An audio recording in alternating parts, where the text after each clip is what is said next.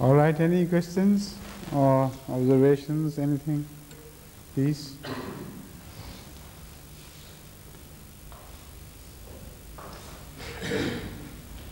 And so you can raise your hands if you want to say something. Rajasar, please come. You want to recite a nazm of yours or what? Achha. Oh, all right.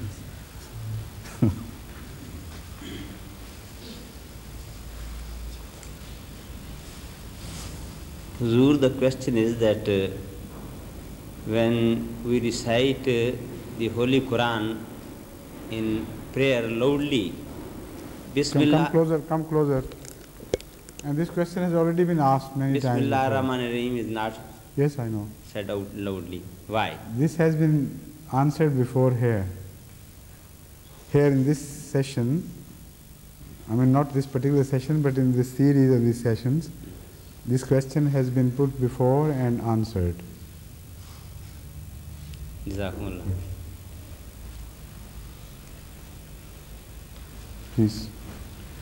If we are left with some time, and uh, you, you know there is a gap between the prayer time and the questions, then I'll again attend to it. Assalamu alaikum. Hazur, some a couple of weeks back, you performed your nikah service for, uh, I think your nephew or niece, and in the sermon you said something. Uh, uh, could you come closer, please?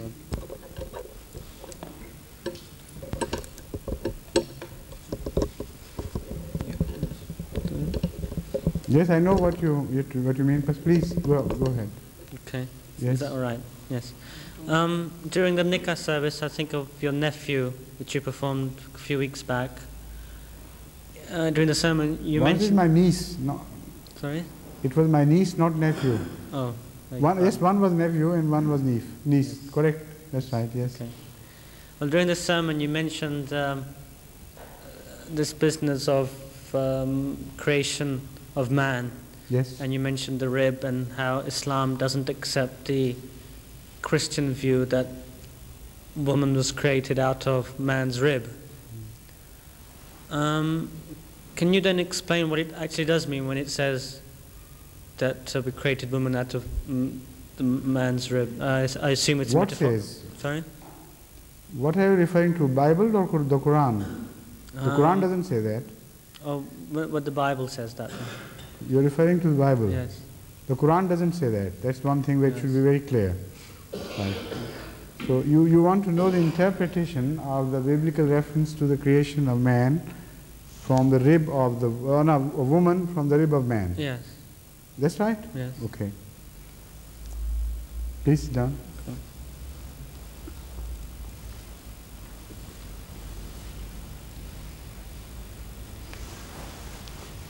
Rib is, uh, well, it's, it depends on where it is situated, but uh, one of the ribs is very close to the hearts, to the heart. So that also indicates closeness. Then rib is uh, made of not exactly of bone but some cartilaginous tissue which is halfway between bone and other tissues. Not exactly a cartilage but not a bone either in its firmness and uh, hardness I mean. So it has both the qualities of cartilage and bone and it can it will always be bent if you try to make it straight altogether, you may break it. The beauty of the rib and the purpose of the rib is to cover you with this shape which is, you know, half bent moon-like shape, uh, crescent-like shape. So there are messages in this that woman is made for slightly, you know, turning away with special qualities of what you call Naz and Nakhra in Urdu, but in English I don't know what name I can give it. But that goes with the nature of woman. And uh, man should accept it as such. Do not try too hard to straighten a lady because you would rather break her than straighten her altogether. And also, she should be treated as a cover, cover to the most sacred and the most vital organ, which is heart. And also the lungs and liver, all the important organs are covered by the ribs. So if man, woman is created out of man's rib, that means she has the qualities of ribs. That is the indication. She is made from the rib, she has, must have the qualities of rib. That tells us that woman occupies a very important position in the society and uh, she provides a cover to the man and a cover which, which is as important as uh, ribs in, their, uh, in the position they occupy in the body. Most vital for man to respect this cover. Otherwise, he would be hit. And if a lady betrays the husband, then she is really, he is really vitally hit because uh, there is no uh, curtain between no uh, curtain between the man and wife, and uh, this is what is described in the Holy Quran as libas, antum libasullahunna wa hunnu libasulukum. So the position which the libas occupies in the Holy Quran, which is a more comprehensive word and covers the entire body, that position is uh, partially denoted in the word rib. If the rib fails you, then you are open to enemy attacks. It knows what is within the, I mean, as if, not exactly that the rib knows, but what I mean to say is it's so close to the heart and to the lungs and other vital organs, as if she should be a confident, confident or, uh, um, you know, uh, what, what's the word for that? with, with, you, with the one with, you, with, which, with whom you share the secrets. Confidant. Confidant or dent, uh, what, what is the pronunciation, um, Mr. Ward? I was hesitant to pronounce this word, confident or confidant? Dant. No, no, English. I know French is confidant. It's not T at all. But in English it is confidant. That's right. Yes, right, right, right. So she is a confidant of man. That is also, I mean, these are all just, they're, they're just inferences, uh, not that the Bible has made it uh, clear on this respect, but when we study the Bible, we do not study it as an object of criticism. The correct attitude is to protect and defend Bible against the non-religious people as much as you defend other values which are dear to you. So in this respect I am trying to interpret Bible as I see it as an Ahmadi. So these are possibilities and maybe some other possibilities. But these are which uh, come to my mind. Otherwise, as far as the Christians themselves are concerned, they don't uh, attach these meanings to this, this verse at all. They literally take this verse to mean that uh, man was actually created, a woman was actually created from a portion of the rib of man which was taken out. So uh, we don't agree. If that is so, then this is a book which has no value, no credentials at all. It should be rejected in toto. If such a book, which is word of God and speaks of this nonsense as they take it, then it should be rejected, but we don't reject it. So we must explain, and this is uh, the closest possible explanation to a rationale as I can think of.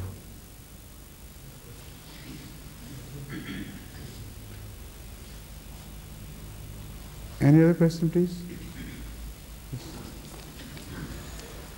आपका शायद मिल गया आपको हाँ अच्छा शुक्रिया In the light of the prevailing uh, circumstances in Pakistan, our opponents have more often uh, referred to their treatment of our mosques. our? the- Our mosques. Yes, yes, yes. To the uh, Masjid tr- treatment of Masjid Exactly. I have already spoken on this subject at length here a few weeks ago. I think about two, three weeks ago. So you can have the cassette. Inshallah. Thank you.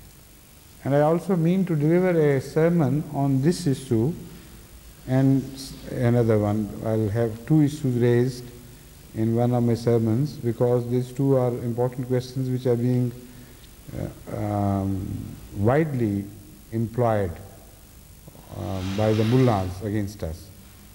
This masjid is Zarar just to deceive people. They speak of masjid is Zarar in their own terms, of course. So I think uh, it requires a public address and inshallah I'll deliver a sermon entirely devoted to these two issues. The other is Hazrat Abu Bakr's treatment of the renegades. These two issues are nowadays being uh, widely uh, brought, uh, I mean, taken up by the non-Ahmadi mullahs and they think uh, that they clinch the whole issue of their attitude against us. But uh, as I'll expo expose their position, they have nothing in it, absolutely. Yes, please. देखिए ठंडा ही है Assalamu alaikum. Uh, Hazur, uh, the Jesus Christ, peace be upon him, was given by the teaching uh, that if uh, somebody hits you, offer you another cheek uh, in, in one cheek and then offer the other one as well. And uh, the uh, Hazrat Masih Maud um, says that um, um, गालियाँ सुनकर दुआ दो और पाके दुख आराम दो किब्र की आदत जो देखो तुम दिखाओ इनकसार and uh, the teaching of the Holy Quran is, uh, uh, it depends on Muslim as uh, explained in the uh, philosophy of the teachings of Islam. as if somebody sees that this is better for the other, to punish or to forgive. And my question is that this, uh, the verse I quoted, and the, the teaching of the uh, Jesus Christ, peace be upon him, seems to be the same, uh, that offer everything and don't. Uh, no, no, they're not the same thing at all. They differ widely. Hazrat Masih Maud salam has never said that if somebody has beaten you, you offer the other side to him for, to be beaten again. Where has he said it? What he said is, galiyan sunke dua do. Pake Eduk Aram Do. Two different things, absolutely nothing in common. Pake Eduk Aram Do means if somebody causes trouble to you, you create uh, ease and comfort for him, try to help him and serve him so that to win him over. That is, afav aslaha is exactly this. This uh, confirms to the teachings of the Holy Quran. And galiya sun ke dua do again, has the same principle. That if somebody indulges in invectives against you, you should pray for him, but not uh, like a fakir. Somebody, a beggar who comes to you and he um, asks, begs for money, and then some people, of course, I know, start abusing such fakirs, such beggars. In response, he always says, "Okay, God, God save you. God, do some I mean, be God kind to you and may He show His favors to you and so on. These are the standard answers of uh, the beggars in our country, even if they are abused. So this is not the attitude which is being taught by Hazrat Masih Maud If you have understood this, you have completely misunderstood Masih Maud What he says is this, that if you are harshly treated, pray in the regular sense at night when it is the time for prayer or when you are privately praying, not loudly to tell him that uh, we are praying to you, that is a beggarly attitude which is not taught to Ahmadis. So in private, when you are speaking to your God, you pray for such people.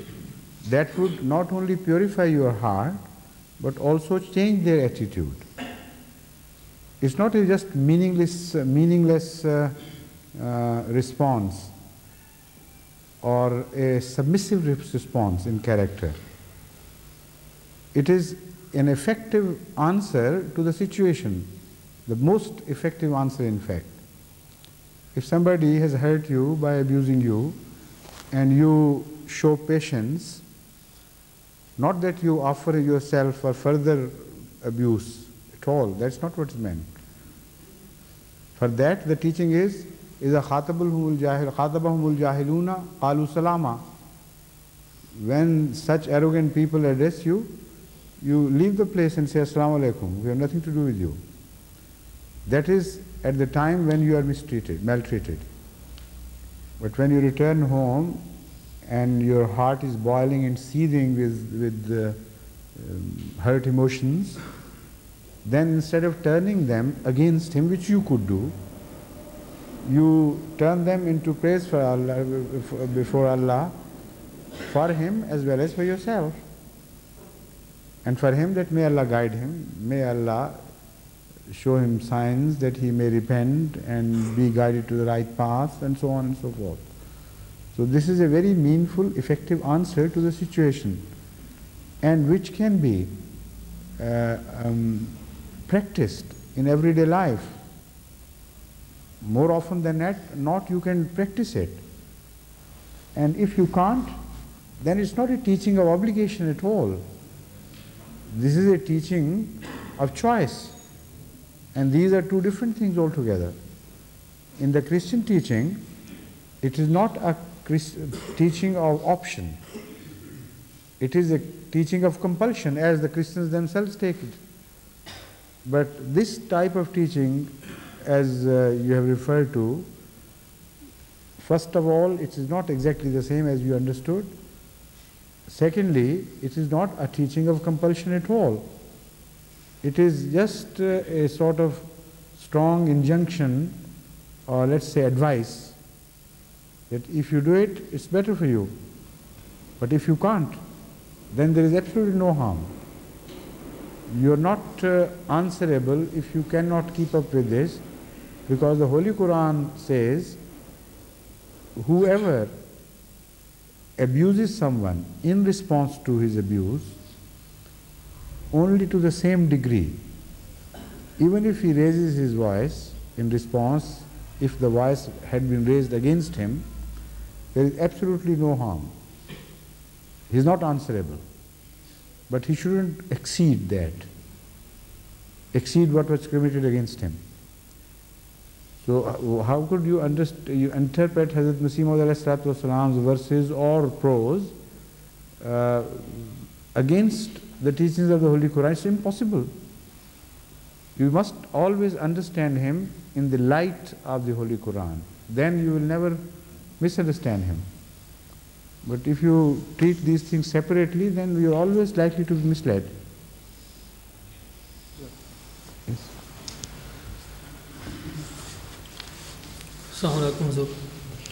حضور حضور وسیم علیہ السلام فرما اپنے ایک رویا میں بیان کرتے ہیں کہ میں نے ایک دفعہ رویا میں دیکھا ہے کہ ایک بہت بڑا لشکر میرے باغ میں داخل ہو رہا ہے اس کو تباہ برباد کرنا چاہتا ہے اور مسیم علیہ السلام فرماتے ہیں کہ میں اکیلا ہی yes, I know. This was also mentioned once before here by Dr. Dar Saab, perhaps. Najib Dar Saab mentioned it to somebody else, I don't remember now. Did you mention it? This, this uh, dream of Hazrat Masih Salam that uh, he saw enemies entering his garden who wanted to uproot the trees and everything, destroy the orchard. This dream was mentioned here before by someone else. No, did you mention it? نہیں حضور میں اپنا mentioned quite right, sir. somebody else mentioned this you don't know. Anyway please sit down. Yes حضور میں نے دوسرا اس کا حصہ بیان کرنا چاہتا ہوں. میں نے ازالہ میں دو اس کے رویا رویا دیکھ پڑے ہیں۔ دوسرے میں حضرت مسیح علیہ السلام فرماتے ہیں کہ میں میری جماعت کو خدا تعالیٰ نے بنی اسرائیل کی قوم سے تشبیح دی ہے۔ اس دور میں جو حمان اور فرعون ہاں ہاں مجھے پتہ ہے اس کا میرے ذہن میں ہے فرمائیے کہنا کیا چاہتے ہیں آپ؟ وہ بھی ایک بہت بڑے لشکر کا سربراہ تھا اور موجودہ دور کا حمان یا فرعون اس کو کہہ لیں کہ یہ بھی تو ایک بہت بڑے لشکر کا سربراہ ہے۔ ٹھیک ہے۔ اس ان دو رویا کے مطلب میں یہ پوچھنا چاہتا ہوں حضور کہ یہ بڑی واضح ہیں آپ کو پتہ ہے؟ بیٹھ جائیں۔ All right. Anything else?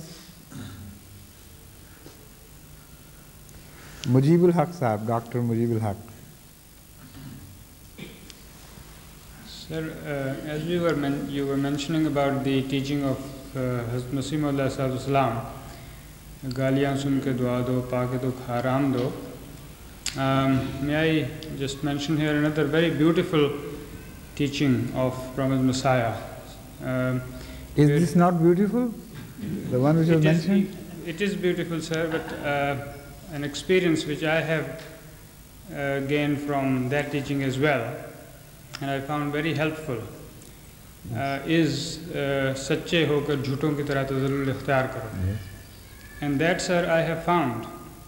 Whenever I have acted on this, the opponent has always Surrendered. surrendered very and showed very much humility. Correct? And I have uh, actually enjoyed a lot from this beautiful teaching. Now, this very important, this teaching which you have referred to is most essential for uh, reconciliations because I have uh, been using this for last uh, 25 30 years and I have found in, uh, in, in my personal experience that such cases who would not respond to any other persuasion or pressurization would sometime respond to this teaching of Masih Wasalam when explained properly. And uh, once they understood the phenomena, then they would uh, uh, generally cooperate. And I have found it work like magic on both parties. Particularly in certain communities where they are very adamant on, in, in principle, to prove that they are in the right. For example, here Mr. there's one young boy from Chinioti community who came here. You, you are from Chinioti community, aren't you? Now I have found them, although they are sometimes they are, are people, I mean many among them are millionaires. But if there is a disagreement about one ana with the closest of relations, they would continue fighting for it on and on and on perhaps sometimes for the whole life, but will not give in.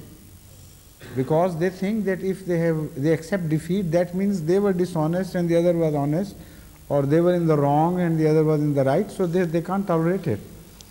So one ana, one pesa uh, quarrels are known to have taken years to uh, get solved or not to get solved and so on. So such people if they are told, and I have seen, not, this is not just one community, there are so many people like this. I'm just quoting an example because he came here and he reminded me of this characteristic of Chiniotis in particular. But anyway, I have worked, I've tried this on these warring factions and I've told them that Hazrat Masih Maud has given, has come out with a beautiful answer. The fact is that most often two parties who have gone into a quarrel, who belong to a society of high moral standard, in this condition, most likely, both the parties are genuinely convinced that they are in the right. So because they genuinely can, they are genuinely convinced that they are in the right, how can they uh, submit to the wrong party? Because they think it's wrong. It's the other party which should uh, crave forgiveness or pardon, and because uh, it is the wrongdoer who must crave pardon. This is the general principle.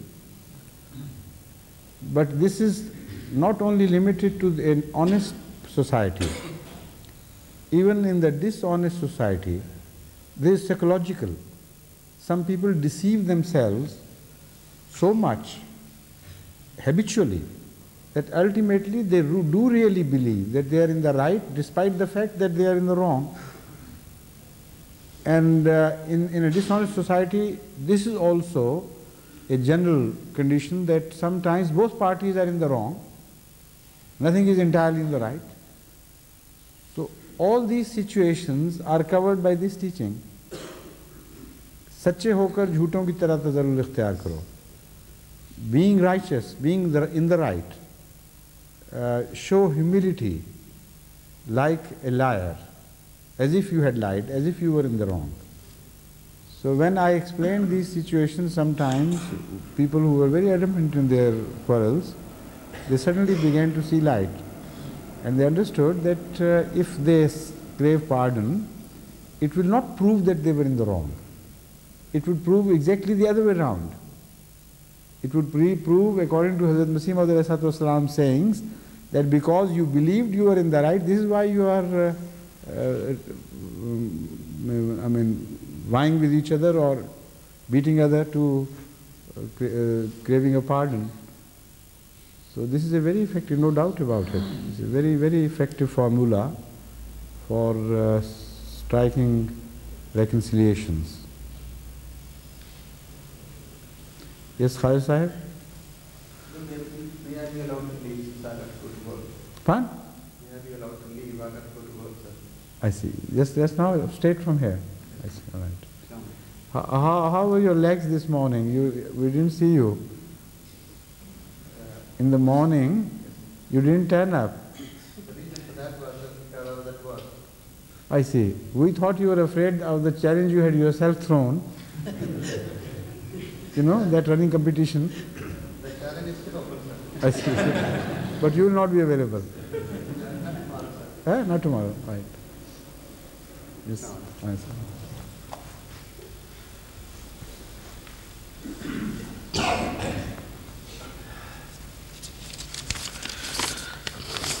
Assalamu alaikum. Assalamu alaikum.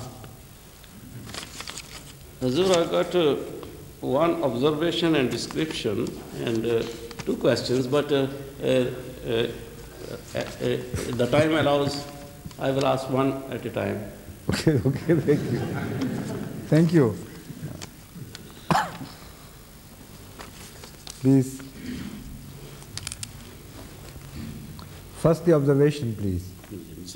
One at a time. Hazur, this is an observation and description of some events at the last annual Jalsa of UK, and out of many, I have selected only three small events for the Majlis Irfan. That's one observation. So you can take up each event separately, one after the other. First, take up the one is to one. I mean, start, start describing one event, and then sit down, Yes. and then we'll permit others to ask questions, and then the second, and then the third. Right? As you have suggested yourself. The annual Jalsa of UK 1985 was a great success in its spiritual and other aspects by the grace of Allah Ta'ala. According to one estimate, about 7,000 people attended the Jalsa from all over the world. This evening, I want to narrate three small events, and they are as follows. One, during the Jalsa at Islamabad, UK, there I met two policemen on duty and had a short talk with them. They seemed happy for You, people are- first being of all, you know. I have, a, I have a point of order. You couldn't have a short talk with anyone. Uh, there was a It's not short possible. talk because they replied me in short and uh, uh, there was raining Hazur. That's why we had to move. It was raining. Achha, it was raining. we- drizzling. We The rain cut it short. Right. so is that the first incident? Hazur said one by one. Ah, that's right. All right.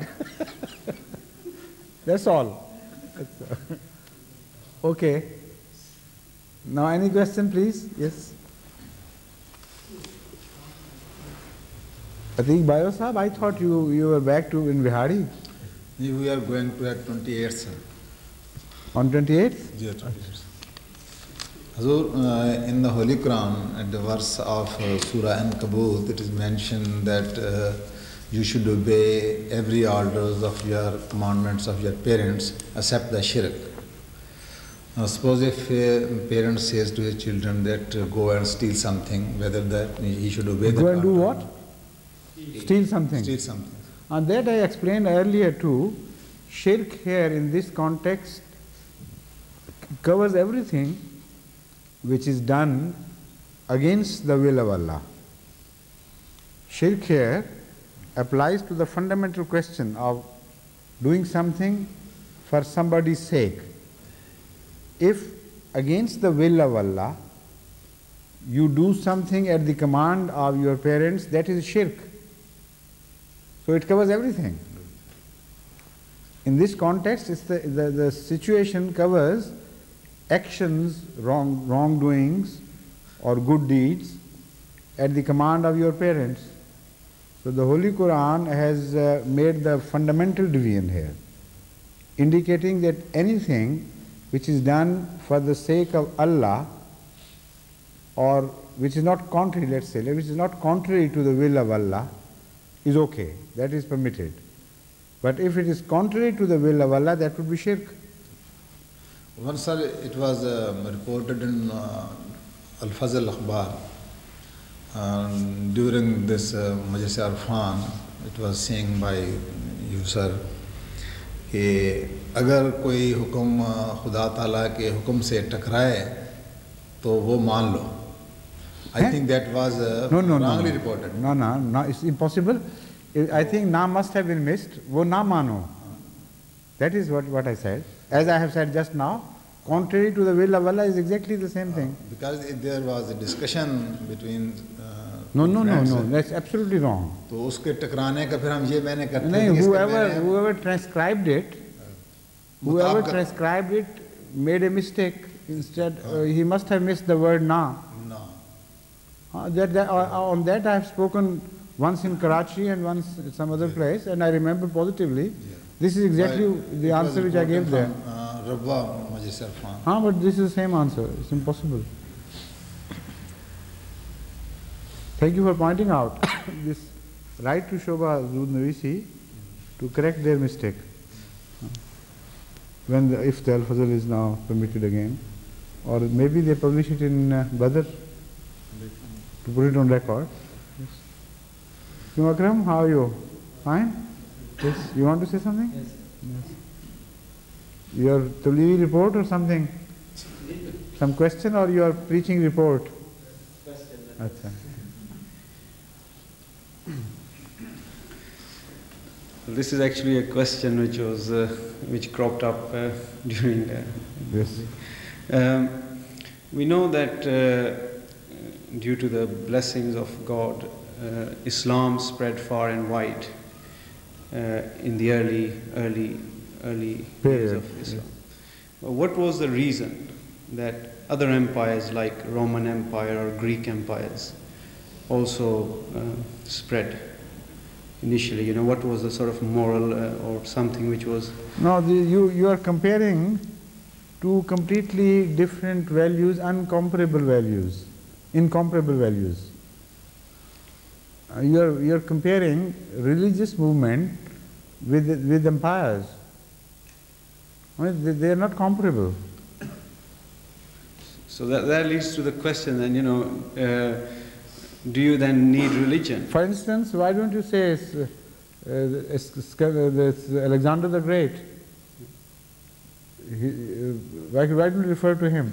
That his uh, conquest of almost half the world was so rapid that within a matter of years he uh, conquered the half of the known world of that time. So why did Islam take that long? Or why did Christianity take much, much, much longer? I mean, they, they, they're not to be compared. They're completely different phenomena. No, but uh, for example, you know, the reason I, I, I picked the Roman Empire is the way it started, you know, the people who started it, or they must have some, uh, uh, they must have worked very hard for it, there must have been some sort of No, but the Roman, striving. Empire, the word Roman Empire in itself is so confusing. and so differently to be interpreted at different era and different periods that uh, you can't uh, just mean anything by saying, referring to Roman Empire as such in these compar comparisons. What was Roman Empire?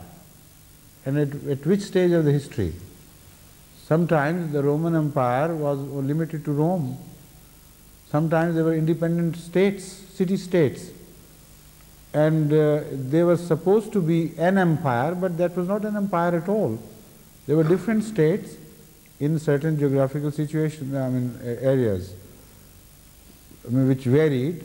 Some parts, sometimes it widened to other countries of the Europe other than Italy, and sometimes it uh, again contracted itself to a smaller area. And uh, sometimes there were vassals uh, to the Roman empires in the eastern regions of the contagious area. And, and those vassals uh, also had different attitudes at different times. With some so-called emperors, they were very respectful. With others, they wouldn't care a fig for what they wanted. And they were almost independent. Only vassals, in the name. So, Roman Empire cannot be quoted uh, against a religious phenomena, or any empire for that matter. They have completely different situations, values, conditions, and uh, they're not principles like religions. But why then were they given this uh, great, what? great power? You know, Who was given what? Well, for example, you know, uh, the uh, you know when the Caesars were there. No, why do you go back so many years before? I mean, um, back into the history. Why don't you talk of America?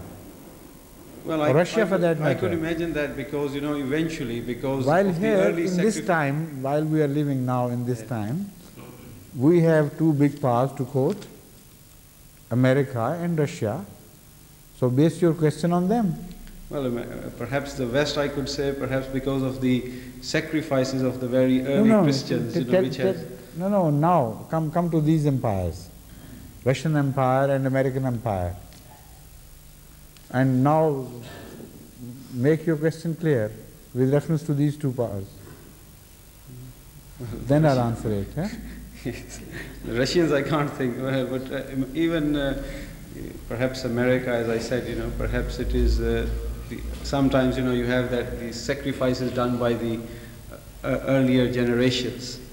The benefit is derived later on by later generations. That is correct. So perhaps uh, what the West has got now is because of the very early sacrifices which were done by the early Christians. Well, that is a different question altogether. I mean, it has nothing to do with these, this empire business at all. That is actually why I asked for the Roman Empire, because perhaps I thought I mean, perhaps forget about the Roman. Empire and things. If I take your question in the light of uh, a reference in the Holy Quran to this phenomena, then I can answer it in a completely different perspective. But if you insist on comparing a political phenomena with a religious phenomena, then I would not answer to that question because I don't consider that question to be valid at all. At least I can't understand this comparison. But uh, in one way, of course, uh, uh, your question is valid and uh, it, this has been discussed in the, referred to in the Holy Quran though very, um, I mean, in a very oblique reference. The Holy Quran tells us that Hazrat Jesus Christ, peace be upon him, prayed to Allah to bestow on him and his people, in his followers in fact, the feast from heaven. A feast, heavenly feast should be bestowed upon them. That was Al-Ma'idah. The Allah, in response to that, said that, of course, I'll accept that plea because your followers are insisting that you must beg of Allah a feast from the heaven. So a feast will be given to you, but if you are not grateful, then also a, a feast which will not have the like of it. But if you are ungrateful, then I'll punish you in a manner as uh, that manner of punishment will also be unique. It will be outstanding and nothing of such a punishment would have ever been met or meted out to any other people on earth. So you will be unique both in the feast which I bestow on you as well as in the punishment which will be given to you if you become ungrateful. Now this is a very important verse applying to the future of Christianity as a great temporal power. Because here the feast does not mean at all some cooked food dangling by a rope from the heaven and coming to, I mean, descending to Jesus Christ, peace be upon him and his followers. This is not the sort of feast which is mentioned in the Holy Quran. It is a feast of worldly goods and worldly gains, of uh, worldly wealth and uh, all the amenities of, of all the comforts of life. This is what was want. In fact, sometimes Allah turns the prayer, slightly gives it a turn and uh, makes it much more meaningful. Perhaps what his uh, followers wanted was a simple feast, food for one time. But Allah, for Allah, it was just meaningless. It was just nothing. To ask a prophet for food for one or two times to descend from heaven, that was just ridiculous. So Allah gave it a turn. Allah said, Well, I'll give you a feast which would last you for hundreds or thousands of years. A feast which would have no comparison in the world. You will excel in all worldly goods.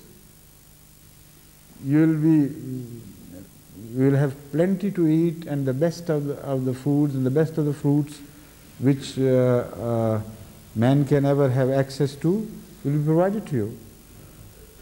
So that is the feast in which you see the world today. Not only the Roman Empire again. It is a continuous feast. The West ever since is on the rise, materially, and uh, in materialistic uh, gains in every direction. But also Allah promised that if you be ungrateful, then the punishment which would be meted out to you would also be unique. And it will be a lesson for all times to come. So we, have, we are just entering that final phase.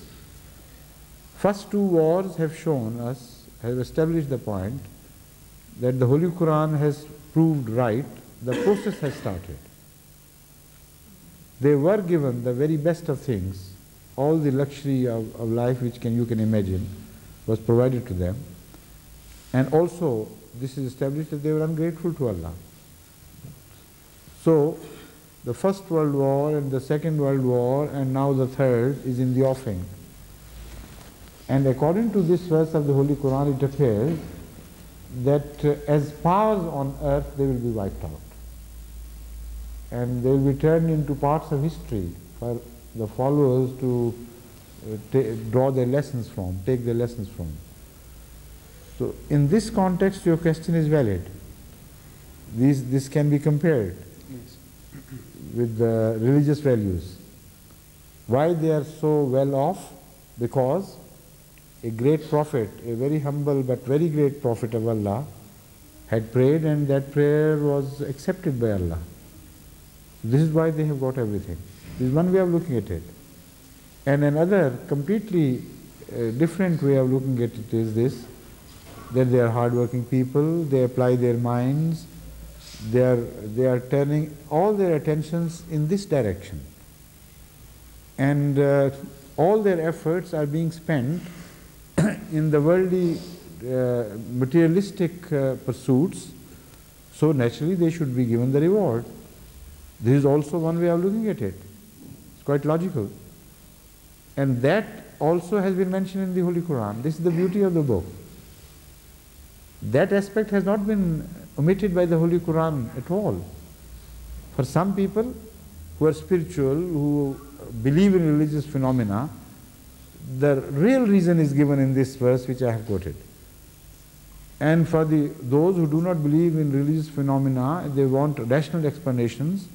The Holy Quran tells us in uh, Surah Al-Kahf, الذين الذين ضل سعيهم في الحياة الدنيا وهم يحسبون أنهم يحسنون سنة These are the people, the, the Christians are described in the, of the latter days. Allazina zolla sayyuhum fil hayati dunya. They have entirely devoted all their capabilities and uh, um, qualities of head and heart to material pursuits, fil hayati dunya. Pursuits of this world, which have nothing, which has, these, the, such pursuits have, as have nothing to do with the world to come. With good results with fantastic results. وَهُمْ يَحْسَبُونَ أَنَّهُمْ يُحْسِنُونَ سُنَّ They are being rewarded, rewarded constantly, so they believe, they begin to believe that they are spending their attentions in the right direction. They are being rewarded fully. And they are creating most wonderful things. Yosinuna Sunna also means this. It may mean they are doing good deeds, and it may mean that they are producing uh, wonderful things. They are creating wonderful things. The industrial, uh, industrial nation. So all this has been prophesied, and this reason is also provided because they are a people who are taking the world, this life on earth very seriously and uh, directing all their capabilities and powers in this single direction of the worldly gains, materialistic gains, so they will be rewarded.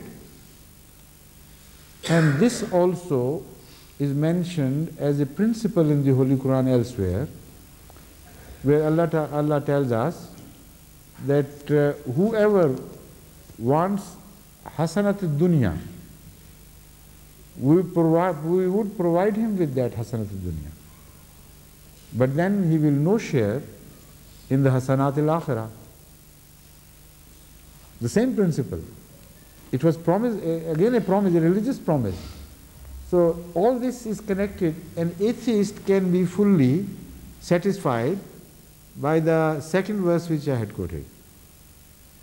You know, cause and effect.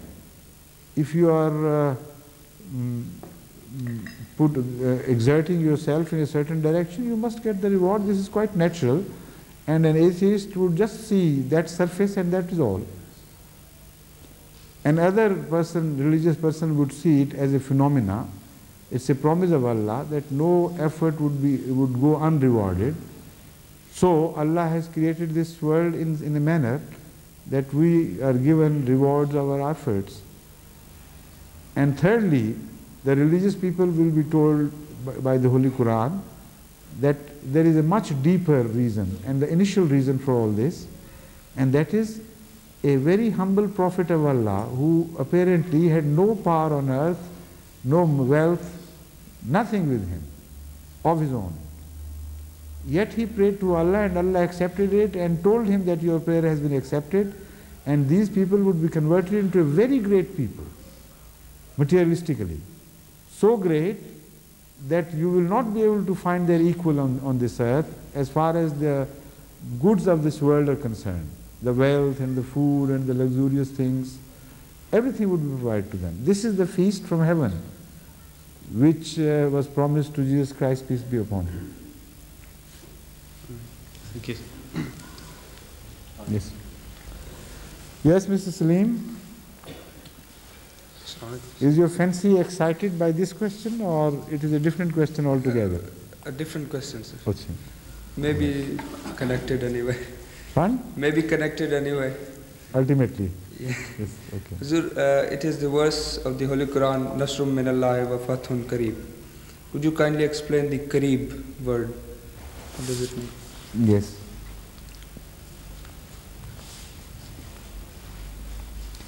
the word Kareeb is uh, expressed in many other ways in the Holy Quran and also in uh, um, many other languages as well. I mean, this is a common feature that the word Kareeb is also said as uh, uh, something is on your doorsteps, something is knocking at your doors, something is so close, it's about to happen, as if it has happened. All these expressions are used variously in the Holy Quran as well as in other uh, books and uh, other situations. You will find also the same sort of expressions in every language but they do not always indicate, indicate closeness in time. This should be remembered. Sometimes they only indicate definiteness, def, uh, certainty. If something is bound to happen and nothing can change, for that you will always say it is qareeb, as if it has happened. Sofa, sa, all these expressions of Arabic are used uh, in this context to express this certainty. For instance, things which pertain to the world to come, which are going to happen eh, after the resurrection, they are described by the Holy Quran by the same expressions of closeness in time. They are about to happen, they will happen. Not because there is no time distance, but that thing which is certain, that in a sort of way is beyond time. Time cannot destroy that. Like Hazrat Rasul Kareem has explained, mu'mine ka akhdil kaffe. The promise of a believer is so certain, so positive, as if the person who has been promised a thing has been given that thing in his uh, uh, palm of the hand to hold it. Kakhzil kaffe. As if he is already holding it in the palm of his hand. So the time disappears here because of certainty, to indicate certainty. This is the expression uh, uh, which, which is conveyed sometimes by the word qareeb. Not always, but many a time. Uh, indicates only this thing, certainty.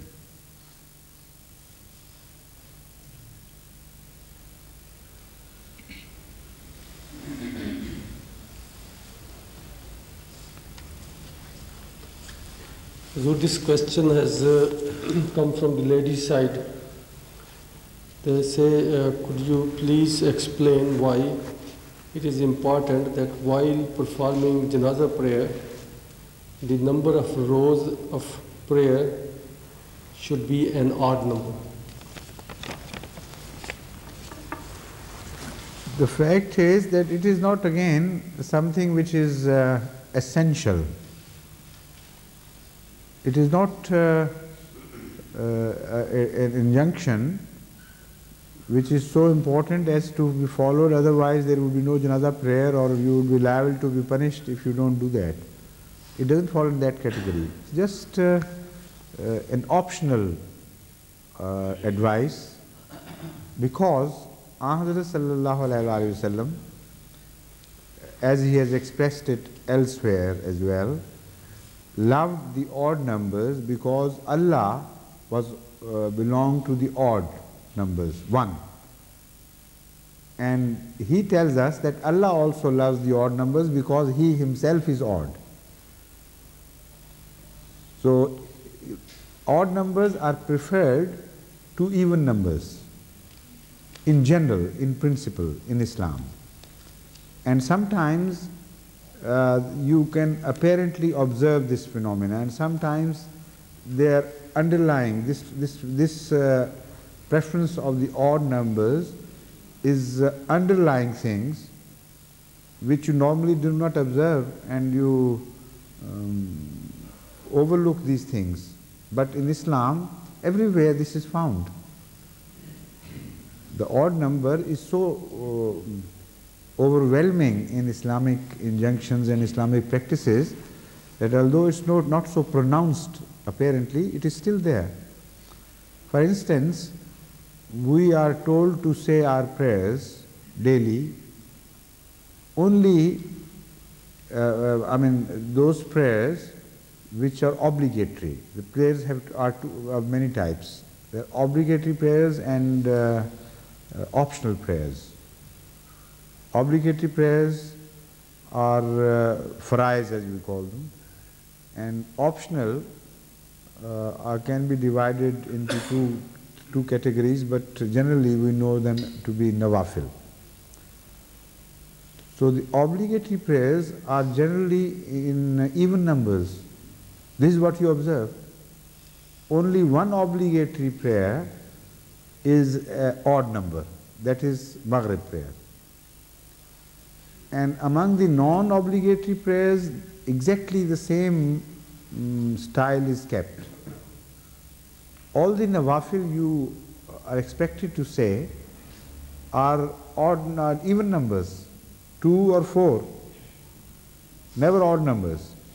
But in the end, at tahajjud time, or if you say your witr at uh, after the isha, before going to sleep, you add just one single non-obligatory prayer. And uh, the, both of these are turned into odd numbers entirely by this. Add one Maghrib prayer to the whole of the obligatory prayers, and the total number would turn into uh, an odd number. Similarly, the non-obligatory prayers would also be turned into odd numbers by that one single witr. So although this is not generally known because uh, mostly you say prayers in even numbers, but you miss the significance that every day you turn all your prayers into odd numbers. So this is why, generally speaking, Hazrat Rasul Kareem sallallahu alayhi wasallam did things, if possible, I mean, if thing, if the situation permitted, in odd numbers. In uh, obligatory prayers, where, where, where uh, we say the prayers routine, in, in routine five times a day, again the five time is an odd number. There it is not possible to maintain this order, to have always the odd uh, um, number of lines. Because in that case, uh, the whole prayer phenomena would be disturbed. People keep on coming and joining, and this is an obligatory prayer, and how can they see to it that after the, the even number, after the odd number, they can't add a third or four, four I mean a fourth or sixth or eighth uh, line, because you have to keep, make it, uh, uh, keep it uh, in odd number lines. So, because it's not possible there, uh, Rasul has not ordered us about it. But in janaza prayer, which is an occasional phenomena, where you can organize things as such, after waiting for a while, everybody has come, then you turn the, make the lines uh, or uh, let's say organize the lines, arrange the lines in odd numbers, that can be done and this is done without any problem. Again, it's in the open, so you can go on adding uh, to the already existing lines. And no harm done, even if some latecomers come in large numbers. Still, the number can, is not necessary, necessarily to be disturbed. They can go on standing on the sides because janaza is said in the open, generally speaking. so you observe this there because uh, uh, it was possible that uh, this injunction could be carried into practice. In the ordinary prayer, it could not be carried into practice, so Rasulullah didn't order you about it.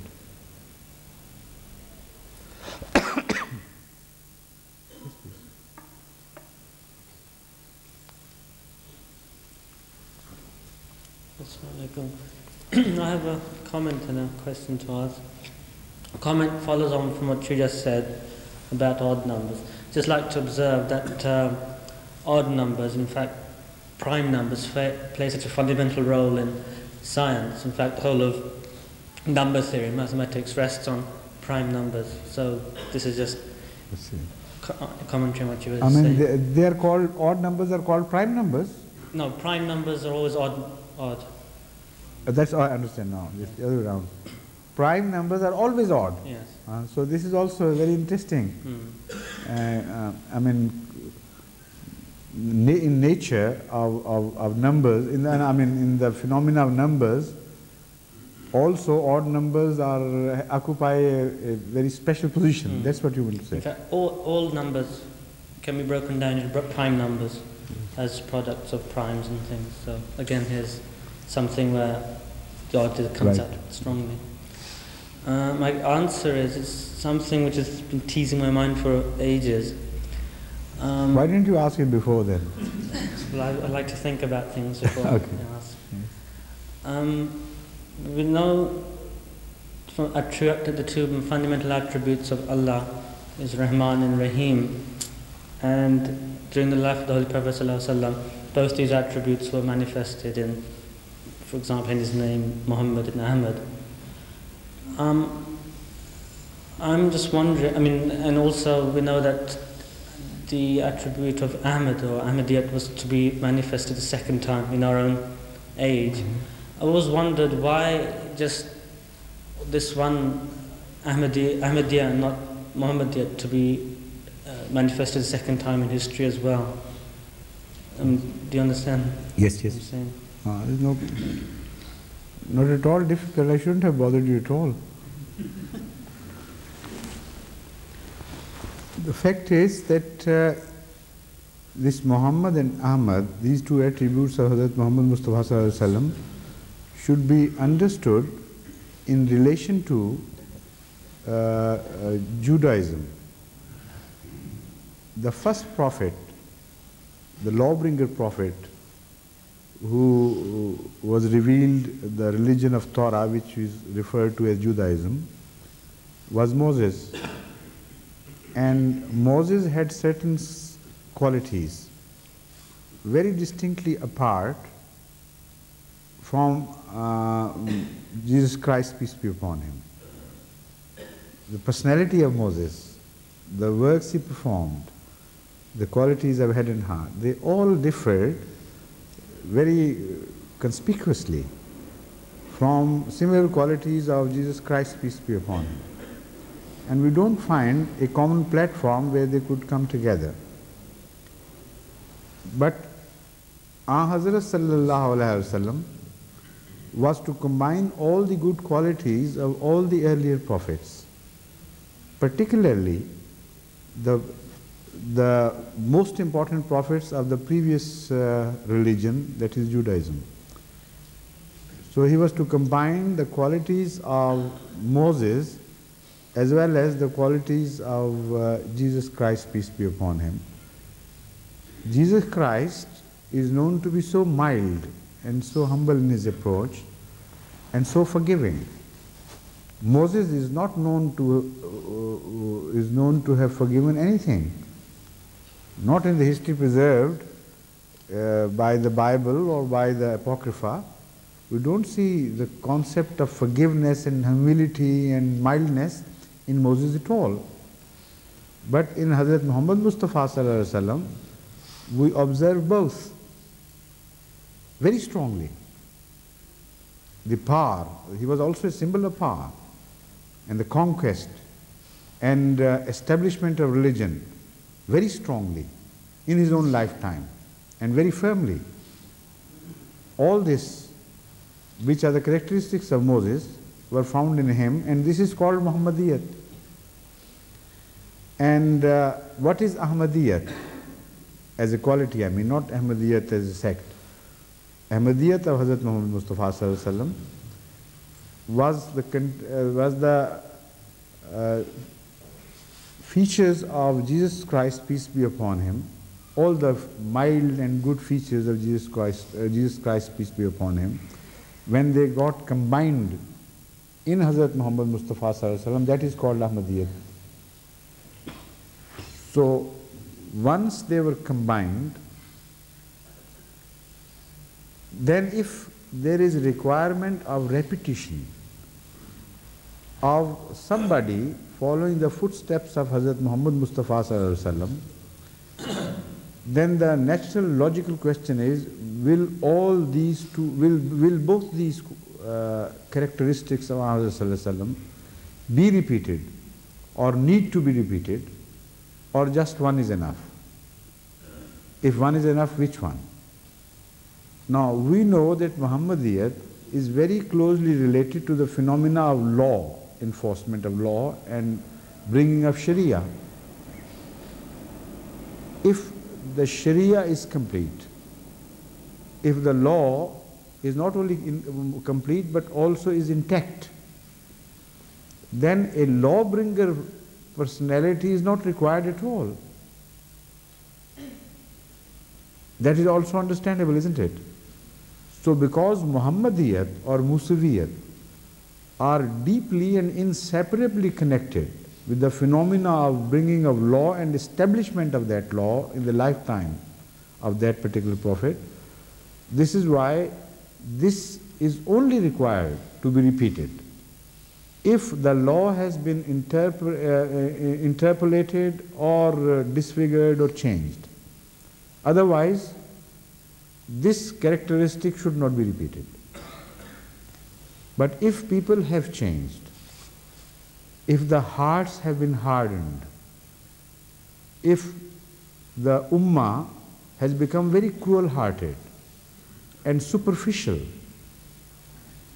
in approach, so much so that they just stick to the form of religion and do not care if the soul is present or not.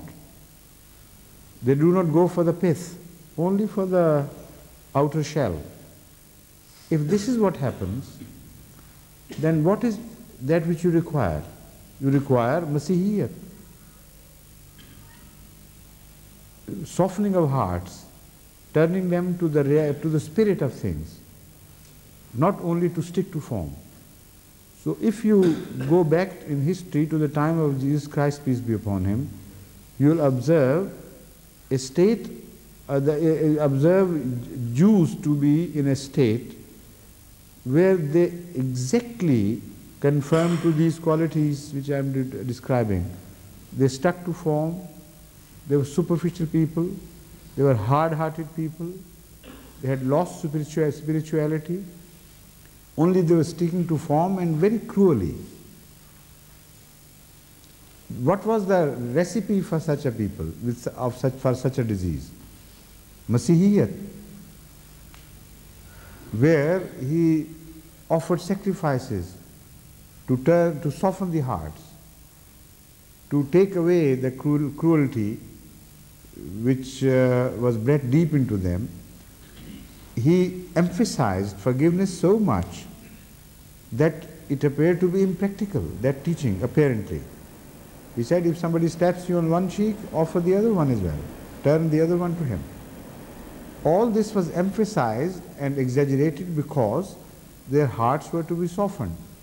Now this is Masihiyat, this soft expression of religion. And this is what is Ahmadiyat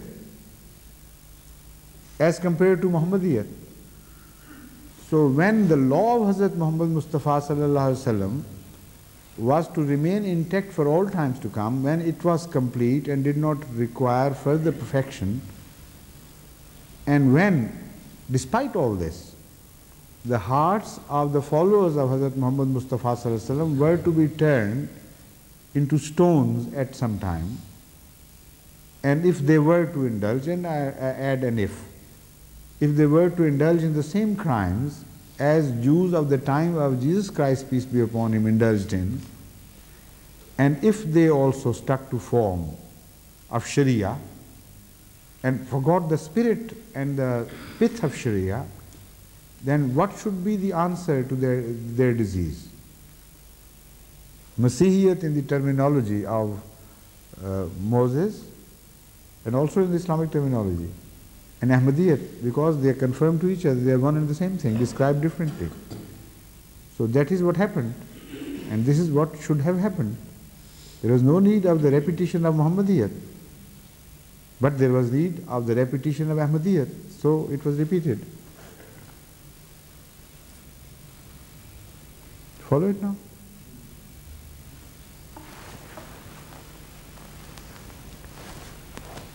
Now, second and third incident, please.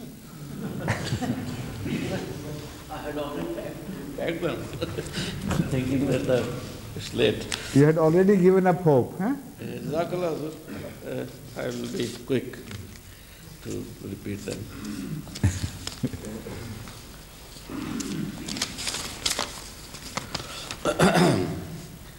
During the Jalsa at Islamabad, oh, sorry. It's all over again. No, no.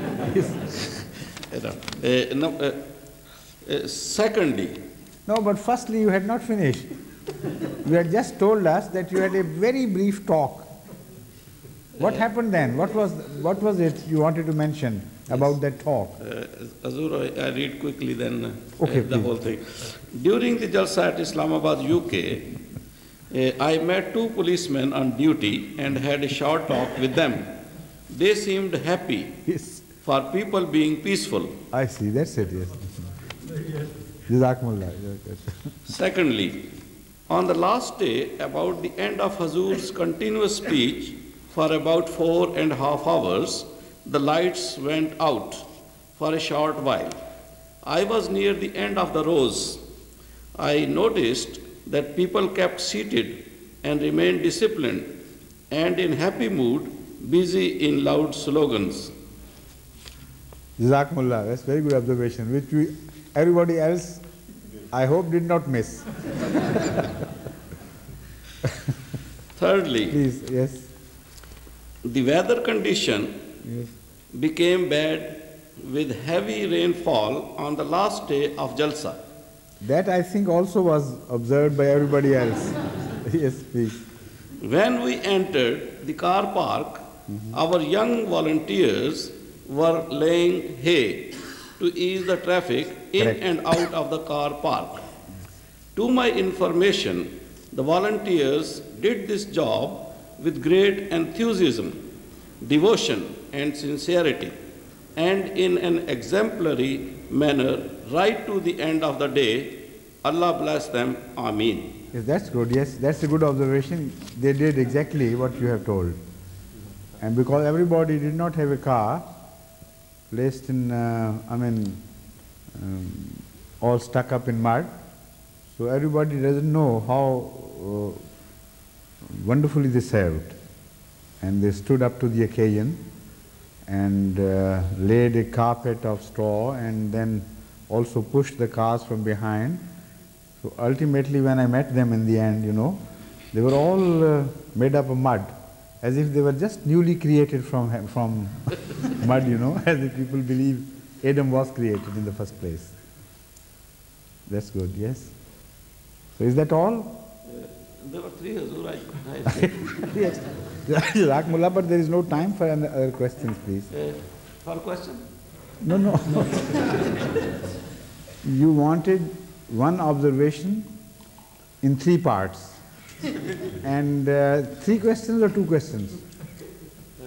No, Hazur, I, I requested Yes, yes, yes. that uh, I got observation and description in three, three. This is the. And also you said some questions to follow.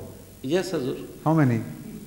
Uh, Hazur, as many as you want. as many as, as many as, as Hazur wants. Sorry, I, I, I should not have said you. Thank you, please. Maulvi Sahib, Maulvi Abdul Karim did you raise your hand or somebody else did from there? Pan? You did? Come on and say what you want to. Assalamu alaikum. sir. Once I visited to one of my friends and I saw in his house the picture of Masih Maud which was colored. So I just asked him that uh, how did you, how did you color it? He said it was through a retouched uh, mm, negative. So I told him that uh, I think it is not right to retouch the negatives of Masih Maud pictures. But he said, as long as it is just coloring and beautiful, it is all right. So I, would like to know. I, I fully agree with you and endorse your point of view. In fact, this is wrong. You know, I remember uh, while I was a child, once Hazrat Masih Maud's original pictures were slightly retouched. Perhaps the negatives were, because some something had uh, faded them, and uh, you could see, observe uh, some marks disappearing from here and there, and some, uh, you know, distortion in the features. To restore them to the original, some of Hazrat Masih Maud's pictures of that time were referred to, and they were retouched only to the extent that they were brought back to their original form. And for that you had a positive proof, a portrait which was uh, which remained uh, in, intact, and uh, you could have reference to that portrait and uh, retouch the negative to the extent that it would just confirm to the portrait. That is permissible. But then I remember paint color color was also added before partition. I mean that was also brought into picture and uh, some people started painting Hazrat Masih Maud pictures. Yeah. That I loathed uh, even at that time and even uh, and still today I, I don't like it. In fact I am very much against this because this is how you tend to distort the features of Hazrat Masih Maud while you think you are improving. And that is also an insult. Hazrat Masih features cannot be improved upon. They may confirm to your standard of beauty some sort of feminine beauty or whatever it is, but they do not confirm to the manly beauty which Hazrat Masih was uh, gifted by Allah. And that piety which grew from within, those expressions which uh, Allah gave him, some as gifts and some as uh, uh, qualities which he earned himself. So they must not be interfered with. If you do that, you will destroy the whole thing. So you are quite right and you have well pointed out. When the first it started uh, you know, this tendency started, I protested against it even then, and ever since I'm against it and will remain against it. So I ordered the entire community, now I'm in a position to order you, that uh, you must not indulge in these things which they will destroy not only the features of Hazrat Masih I mean, the, the, his pictures, I mean, distort his pictures, but also will, these things will turn you to idolatry, ultimately. And this is what Hazrat Masih Maud hated most. This is why he said, fearing this, he said that I prefer these pictures not to be hang, hung on, on walls, but to be locked in uh, boxes so that you only turn them out when you require. Otherwise, uh, uh, keep them locked in because one, um, lest you should start, uh, begin a tendency towards uh, raising my status beyond a human being. So that uh, tendency is more likely to flourish uh, when you begin to uh, interfere with Hazrat Masih Maud portraits and try to improve their features and add a sort of halo of holiness as you believe it is a halo of holiness around his figure and uh, go on uh, as you think, raising his status.